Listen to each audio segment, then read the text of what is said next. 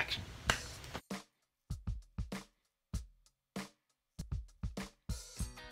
Hi, I'm Mario with Square Paws, and today I'm going to show you how to make your own cat catified director's chair. I say today, but really, who finishes a project in a day?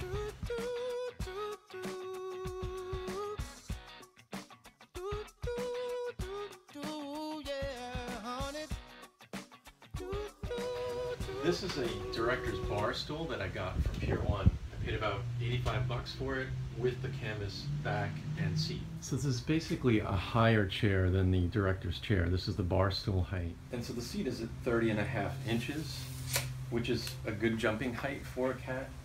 This model also comes with this swiveling footrest, but since we're really not using this as people, we're making this for cats. I'm going to augment some wood and some carpet onto this. I'm also going to put something here between the rungs in the back to seat this corrugated cardboard scratch pad. I'm also going to add sisal, places for the cats to scratch. So some of the things you're going to need in terms of materials are a piece of printed fleece fabric, hook and loop or Velcro, some good catnip, organic catnip would be good, a sheet of black felt, some quarter inch thick sisal, one by two, which is one inch by two inch by eight foot long, select pine that we'll use to make the frame for our corrugated cardboard, and then a corrugated cardboard pad. In addition, you'll need some white fabric paint that we're going to use on the back of the seat. So first I'm going to make a box with a seat for this to actually go on the rungs on the bottom of the chair. These scratch pads come in different sizes. This one here is 9 and 3 eighths by 17 and a quarter. And you just want to make sure that it's going to fit between the front and the back supports of the director's chair. So I've marked out four pieces, two that are 19 inches in length on my 1 by 2 and then two other pieces that are 9 and 3 eighths these are going to form the box for the corrugated cardboard and I'm going to cut them on my table saw. Okay, so on the 19 inch pieces I've actually marked out locations of where the back, front to back um, support rungs are and I'm actually going to cut these pieces just so that the container for the corrugated cardboard just fits nice and snug on top of those rungs. Hopefully this will work. I'm not Norm Abrams, so we'll see what happens.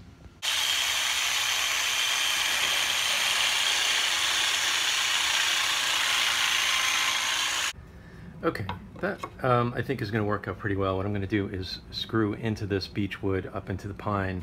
Basically, that's how that's going to sit.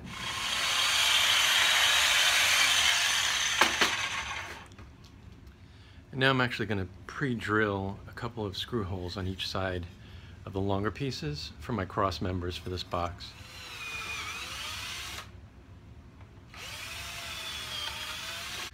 Is all the hardware on this existing Pier 1 piece is brass. I'm actually going to use brass plated wood screw assortment for my screws on my box. I'm going to use the corrugated cardboard to help me set the other fourth piece of the box. You can see that there so I get a nice snug fit.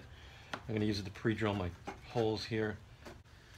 Okay, so there you see it. There's my box with the corrugated cardboard in it. It's nice and snug, so if you pop out, but it still fits with a nice good friction there. So, okay, so as you can see, we've got the cutouts for the rungs. It fits right in there.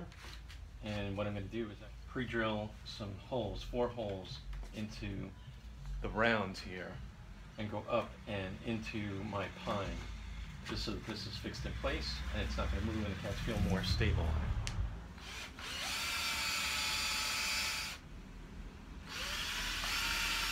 So I'm using inch and a quarter uh, screws to go into the bottom of this, into the rung and into my frame. This will be removable because the chair folds up and when I ship it, I'm actually going to ship it folded. But this piece, this piece will actually be taken out and reinstalled and get it into its location. There, nice and snug. That's good. So now we can move on to the next step will be the footrest. So the thing about this step is that it's not very deep at the front end here. I'm going to augment this to make it a little bit bigger because I want to have at least three or four inches here at the front for the cat to actually jump up from here. I like to give them four to six inches. Okay, so I've cut my piece of half inch plywood, which actually is a little bit longer than the piece that's going to be mounted as the footrest. And I pre-drilled here to actually get three screw holes to the underside of the plywood. Now what I'm going to do is I'm taking a piece of sand colored carpet so it matches the footrest. I'm going to take a China marker and just trace what I want to cut here. Not all of this is going to be cut. I'm actually going to leave excess on three sides. This will be a cut edge along here, which is facing the inside of the chair. And then out here, I'm actually going to cut here and here and leave room for overlap so I can actually glue and staple it onto the uh, plywood.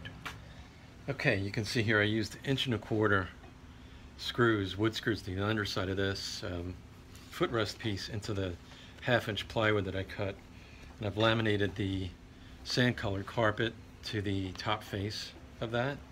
So now what I need to do is actually just miter corners here and staple and glue this on to make this finished.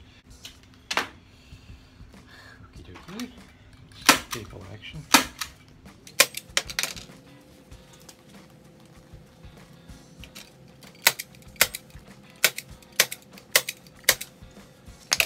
Okay, so here it is with the upholstered footrest installed. This is uh, still a little loose, but I can actually go in here with the Allen wrench and tighten it more so the cats feel more stable on this. But now the next step I want to do, add some sisal rope, probably here and here, maybe on the back, so that when the cats are either standing on here or standing on the scratch pad, that they can actually scratch at something vertically. I want to use thin sisal because the, um, the legs of this chair, as they fold, when it's in folding position, um, that sisal could potentially conflict, so I have to be careful about where I'm going to put it. But I'm going to hot glue that on, so uh, that's the next step.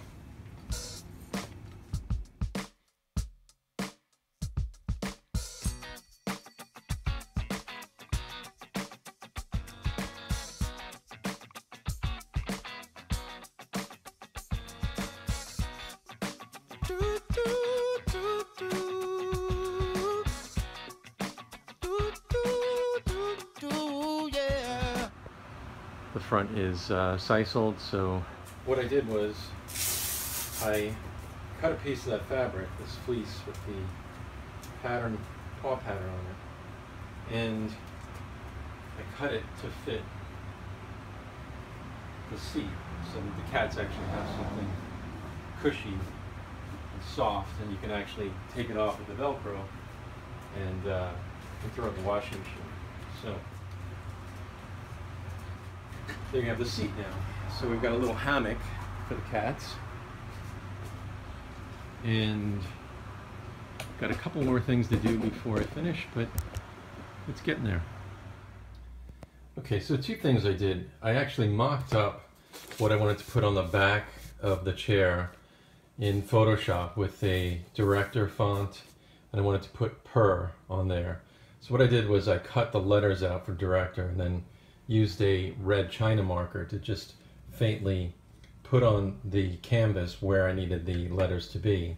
And then I used a, uh, a simple fabric paint in white, matte, matte finish, and I painted onto the, the seat back itself on the canvas. I painted this, this out here and I wanted this to look as if the cats had scratched out the first part of this and put in their own purr for Purrector. So that's one thing. The other thing was I took that black felt that I mentioned at the beginning of the video and kind of rolled it in a cone, a cone shape, filled it with foam.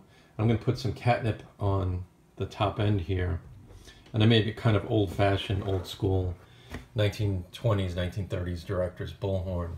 And I'm going to attach that to the chair later with the catnip in it as a toy for the cats to bat around with. I'm not the uh, most patient tailor, but I did my best. I filled it with catnip and now I'm actually just going to attach it to the director's chair and that would be the final touch.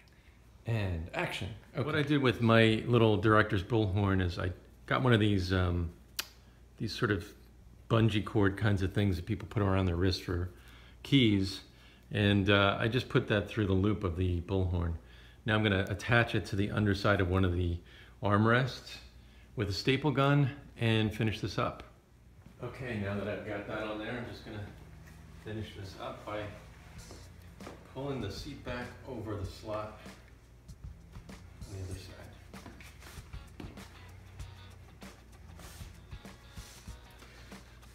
And that's it. So there you have it, the Purrector's chair. One last point about this. For people who don't have a table saw or jigsaw or don't want to use any kind of power tools, you actually can do this without doing the uh, footrest piece or the scratch pad. If you get the smaller version of this, you buy the director's chair, not the bar stool, you could still do the fabric, you could still do the decorative work here, and you won't have the footrest to deal with, but you could still do the sisal as well, and it's actually a very simple thing you can do for your cat, and it'd be great for them, so good luck. Please like this on Facebook, please share this video with your friends, and thank you and have a great day. That's a wrap.